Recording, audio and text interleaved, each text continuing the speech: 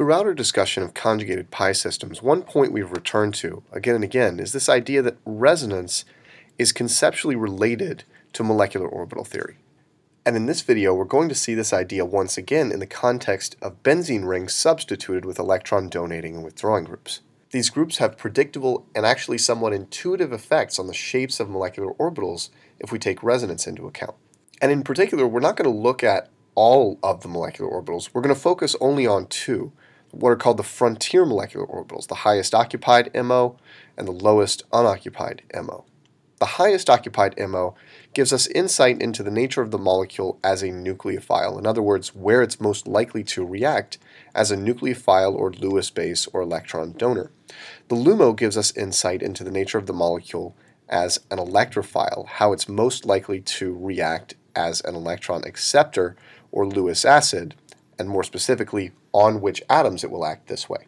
Benzenes that are substituted with strong electron donating groups or electron withdrawing groups are what we might call electronically activated relative to unsubstituted benzene. They're either electron rich or electron poor.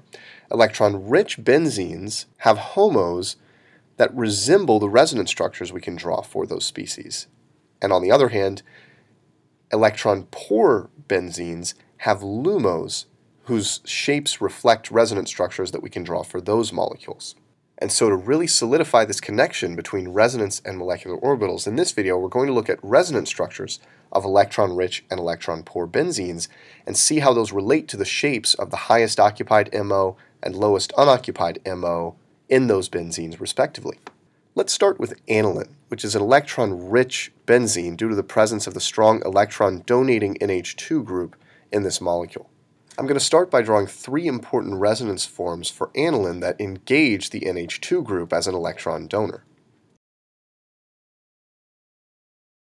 Now let's build this molecule in HuLiS and examine the frontier molecular orbitals. Because this molecule is electron-rich due to the presence of the amino group, we should expect it to be a stronger nucleophile than benzene, and so it makes sense to focus on the highest occupied molecular orbital of this compound, as its most important orbital. This is a relatively high energy, highest occupied MO, meaning the molecule has the potential to act as a Lewis base, at least relative to benzene.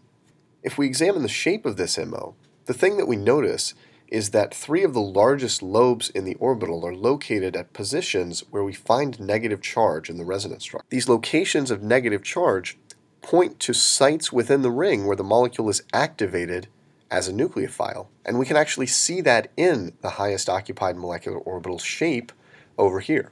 Although the largest lobes are on nitrogen and the carbon next door, which makes sense considering nitrogen is a relatively electronegative element that's going to want to have a lot of electron density on it. If we focus on the other carbons of the ring, what we find is that the electronically activated positions are the ortho and para positions.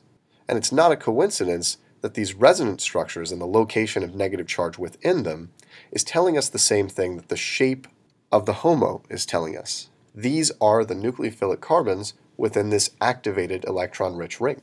And the general point here really is what's listed on the slide. Negative charge in resonance structures of benzene substituted with electron donating groups corresponds to large lobes in the highest occupied molecular orbital and sites of strong nucleophilic behavior. Let's do the same analysis for benzaldehyde, which contains a benzene ring substituted with an electron withdrawing group, the aldehyde group. This makes the molecule's ring electron poor. And let's begin as we did before by drawing resonance structures of this molecule that engage the electron withdrawing group to show the locations within the ring that bear some positive charge. Now let's build the molecule in HuLiS and see how the molecular orbitals turn out.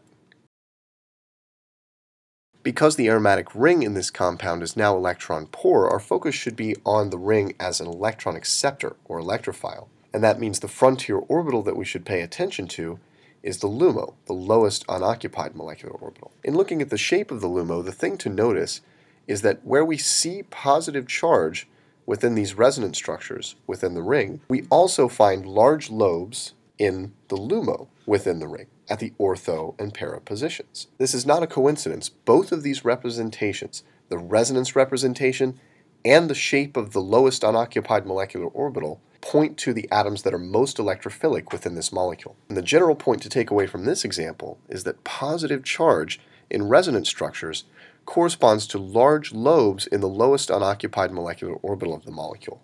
This is true whether we're dealing with substituted benzenes or any other kind of conjugated pi system or most broadly, really any type of organic molecule. It's a foundational principle of resonance theory and frontier molecular orbital theory which focuses on the HOMO and LUMO.